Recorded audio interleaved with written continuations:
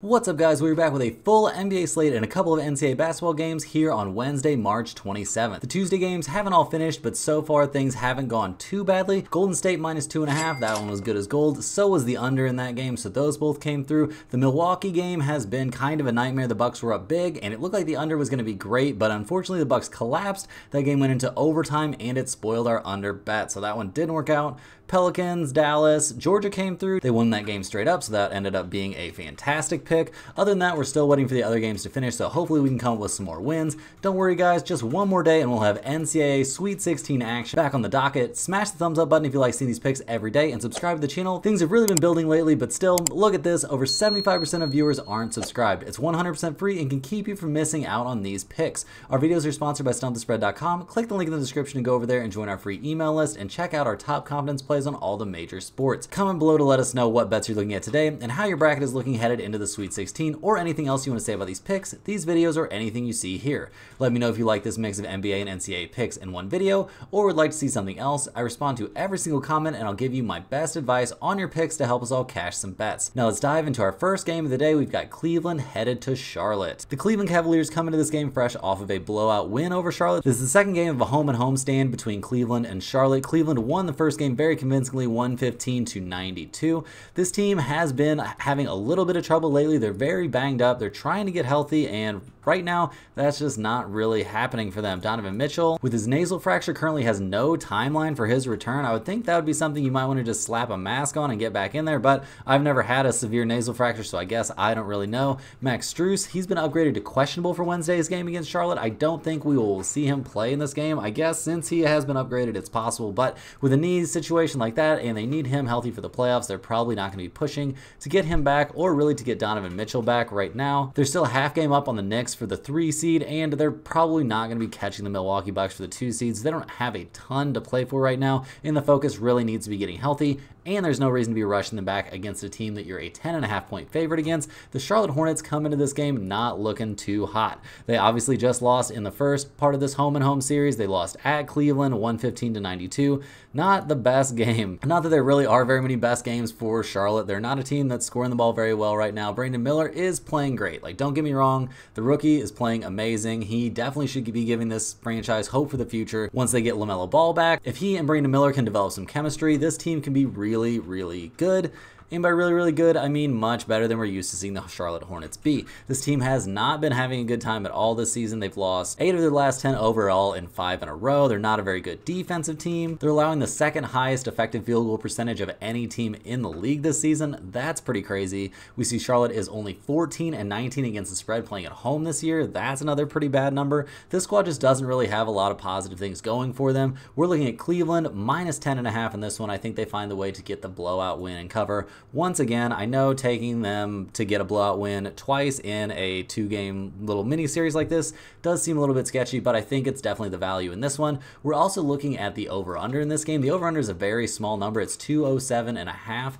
However, we see that Cleveland is a solid under team. They're 53.8% to the under, and Charlotte is also a solid team, 52.1% to the under. Also, just looking at like regular statistics for this, we see that Cleveland isn't putting up a crazy amount of points right now without their full roster, and we see that Charlotte is not really a team that's going to score a lot of points, even against a Cleveland team that doesn't have all of its pieces. Cleveland's a pretty decent team. Mobley's going to be playing in this one. Jarrett Allen's going to be playing in this game, so their defense is fully intact. Give me Cleveland minus 10.5 and give me under 207.5. Next up, we're looking at the Los Angeles Clippers going up against the Philadelphia 76ers. The Clippers come into this game fresh off back-to-back -back losses, including a loss, a 121 to 107 loss at home against the 76ers. Now they're playing in Philadelphia. That loss to the 76ers not a great look. We saw Paul George, Kawhi, and James Harden all playing in that game. Russell Westbrook wasn't quite back yet. He is back now, and I think we expect him to play in this game. But the Clippers are not really a team that's supposed to be losing games to teams like Philadelphia, at least Philadelphia in their current crippled state without Joel Embiid. Having Westbrook back did not make the difference against the Indiana Pacers. Their last time out, the Clippers lost 133 to 116. They only shot 30% from three-point range. If you're going to only make six three-pointers in a game in the NBA, you're going to have a hard time. That's just not how things are going to work right now, and it's especially not how things are going to work going up against the Indiana Pacers if you allow them to shoot 60% from three-point range. Some of that can be chalked up to hot shooting, sure, but some of that has to be chalked up to the Clippers not playing very good perimeter defense. The Clippers this season overall are allowing an effective field goal percentage of 54.5%, which has them right in the middle of the league, but over their last three games, they're allowing an effective field goal percentage of nearly 62%. You can't defend like that and expect to win games in the NBA. It is just not going to happen. The Clippers are 18 and 18 against the spread playing on the road this season, so they don't really have good road trends in their favor. This squad has just not been getting it done lately. Their bench hasn't been quite as good. Kawhi hasn't been quite as good. It has hurt them in the standings. They're six and a half games back of the Denver Nuggets, but more importantly, they're only two games up on the Mavs, the Kings, and the Pelicans, or really just that group in the race to avoid the play-in tournament in the West. If this team drops into the play-in tournament, that could be pretty detrimental. That's a huge, huge like collapse from them here in the second half of the season. The dream would be that they can figure this thing out, obviously, and they have a chance for some revenge here going up against the Philadelphia 76ers, who come into this game fresh off a loss to the Kings. It was a very low scoring loss. Philly only scored 96 points in that game. They were playing at Sacramento, so we'll cut them a little bit of slack. And Tyrese Maxey, man, he is just having to carry the entire load right now. Every so often, it feels like Tobias Harris will go off for like 25 points, and everybody will be like, oh my god, Tobias Harris is so good. He's such like a great great. He's like the best role player in the league or like something crazy like that. Tobias Harris is a no-show most nights. He scored 12 points in the loss to the Kings, guys. 12 points in 26 minutes. He shot 5 of 15 from the field and 0 of 2 from three-point range. Yeah, get out of here with that Tobias Harris love. I'm not hearing any of it. Maxey is out there by himself. Honestly, we're really seeing how absolutely dominant and insanely good Joel Embiid was playing because this team was winning games with just him and Maxey and nobody else. We don't really know if we're going to see Embiid again this season, but he's not walking through that door anytime soon. Philadelphia coming into this game, their defense hasn't been amazing, but over the course of this season, it's been very good. They're in the top 10 in effective field goal percentage allowed, so that's respectable, and they can feel good about the fact they just dominated the Clippers. However, this it feels like a pretty big revenge revenge spot for the Clippers. LA is only minus five and a half in this game. I know this is a bounce back spot for them. They have to turn this corner at some point and going up against the 76ers in a revenge spot feels like a position where that could happen to me. Give me the LA Clippers minus five and a half in this one as a small lean. It's not going to be one of my bigger bets of the night, but you would surely think they're going to figure it out and get the job done against the Tyrese Maxey solo act. Looking at the over under in this game, it's at 218 and a half. There aren't huge trends in this one. We do see the Clippers are 55.1% to the under, so that's pretty big. And we see that the 76ers, they're a 50-50 over under team. There's nothing really to gain from that. However, Philly is not exactly tearing it up scoring the ball right now. The problem with going for the under in this one to me is that the Clippers have been playing such bad defense, but surely they can lock down a team that only has one good score, or hopefully they're going to at least try since they just got kind of humiliated by this team.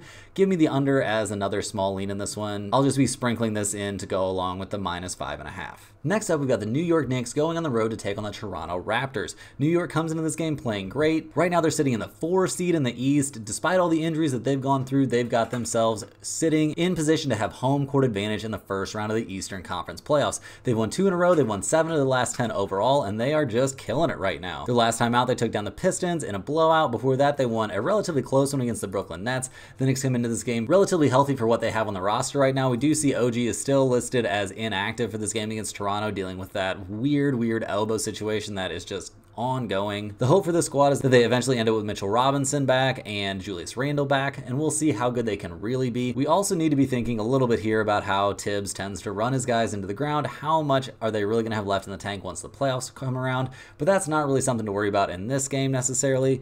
Right now, we see the Knicks solidly as a top 10 defensive team in opponents' effective field goal percentage allowed. They've allowed an effective field goal percentage of 53% over their at home this season, and over their last three games down to 51.2%. They are absolutely locking in on the defensive end of the court, which is what we expect from this squad and from Thibodeau coach teams in general. We saw Donte DiVincenzo go off for 11 three-pointers in that win over the Pistons. That was pretty crazy. Just in general, this team is firing on all cylinders, and that can make things extremely tough for their opponent in this one, the Toronto Raptors, who come into this game riding a long losing streak. Toronto has actually managed to drop their last 11 in a row. This team is just tanking it out pretty hard, pretty obviously as well. We've got Quickley and RJ Barrett sitting out. There's a bunch of weirdness going on with betting irregularities surrounding Jontay Porter's games. Guys, we don't know anything about that. I wish we did. If we did, we'd let you know. Toronto is not a good defensive team at all, ranking in the bottom five teams in the league in effective field goal percentage allowed. Just in general, this team is not competing on a nightly basis. They just lost to the Brooklyn Nets. Before that, they lost to the Wizards. During this streak, they've lost to the Pistons, the Blazers. They're not doing anything positive. There's nothing good coming out of this.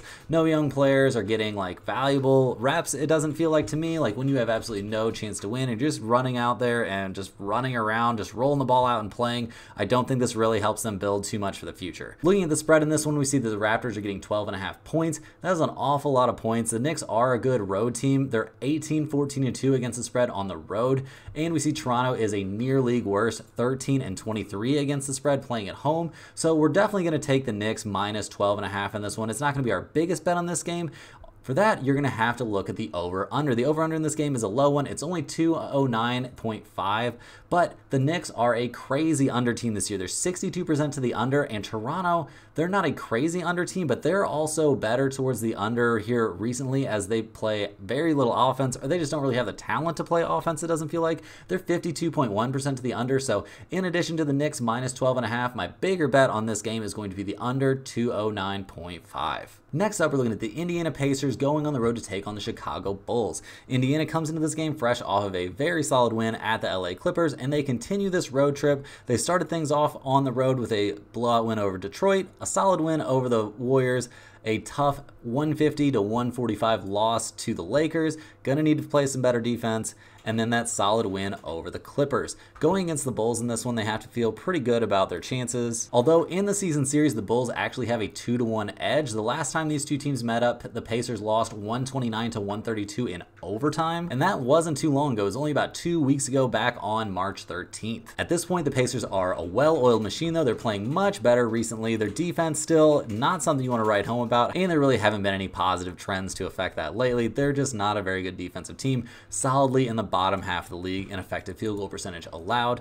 Tyrese Halliburton is playing great. This team really, really played well against the Clippers. They shot the lights out in that game. They made 17 of 28 threes for a 60% mark. That's absolutely crazy. We don't expect them to be able to repeat something like that. However, they're going up against a Bulls team that's really nothing special either, so maybe they've got a chance to have another big scoring night. Chicago comes into this game fresh off of a third straight loss. They just embarrassingly lost to the Washington Wizards by two.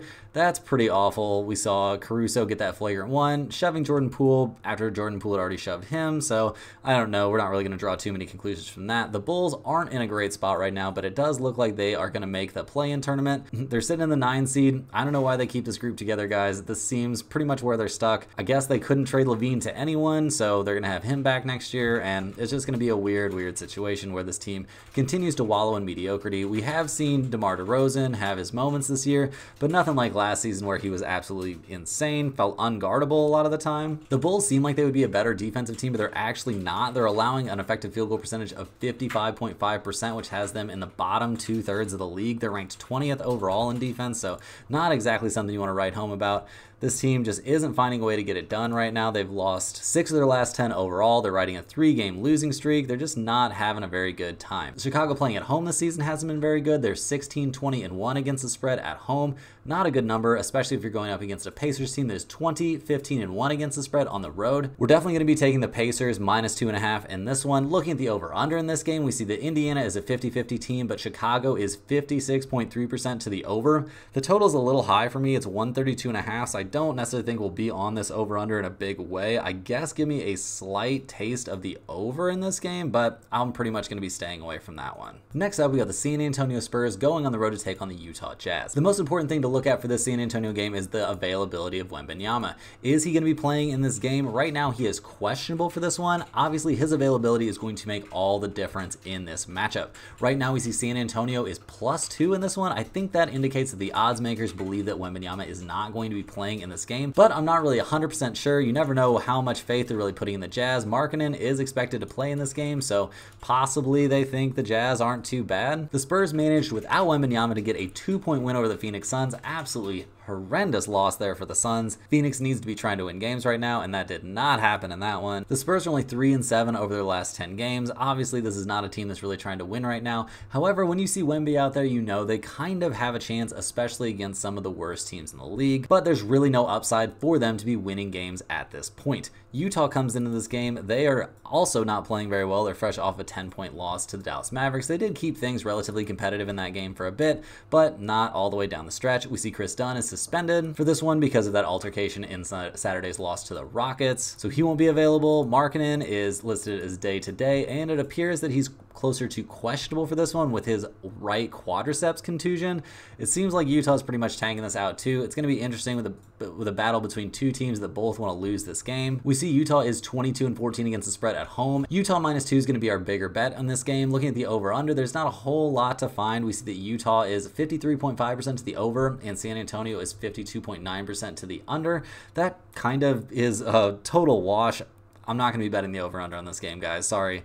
That's just not going to be part of my journey for this one. I have absolutely no clue what this one's going to look like. We don't even know if Wembanyama is going to play, so stay tuned, see if we can find out some more injury news, and then we'll be able to make better decisions on this one. Next up, we have the Phoenix Suns going on the road to take on the Denver Nuggets in one of the marquee games of the day. We see Phoenix coming into this game fresh off that embarrassing loss to the San Antonio Spurs in a game where the Spurs didn't even have Wemby out there on the court. In that loss, the Suns only scored 102 points. That's going to be a huge problem. This team isn't good enough on defense to be putting up small numbers like that, especially when you've got KD, Beal, and Booker all playing in this game. The whole shtick with this big three was that they were going to be unbeatable when they were healthy. Well, they were healthy and they just lost to the freaking Spurs. They didn't even have that bad of a shooting night. Sure, they didn't get to the line a lot, but they shot 50% from the field. They shot 35% from three. They made 10 threes. Like, what is going on here? The bench was pretty much a black hole, except for Royce O'Neale, who had a very nice night, scoring 12 points in his 26 minutes. But just in general, guys, this team, I don't know. Everybody says you should be scared of them in the playoffs. They're not looking too scary right now. Defensively, the Suns are in the top 10. Over their last three games, they're allowing an effective field goal percentage of around 50%. So that's very, very good. If this team's going to be better on defense, that will definitely help them. But I don't think they want to be playing games that finish with final scores of like less than 110 points. That just doesn't seem like it's going to be the wheelhouse for this offensive minded squad. The Suns are relatively healthy coming into this game. Although we do have some concerns, Bradley Beal is dealing with a finger injury and he's officially questionable to play in Wednesday's game, but he did not practice on Tuesday. So that feels like a very real questionable to me. Like there's a real chance that he might not play in this game. Obviously, that's a big problem if he doesn't.